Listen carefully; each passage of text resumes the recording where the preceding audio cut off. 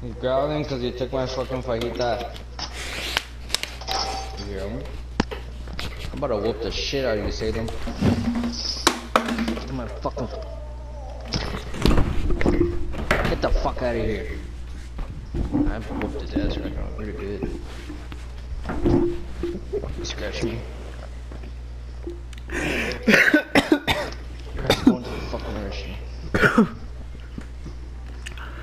fucking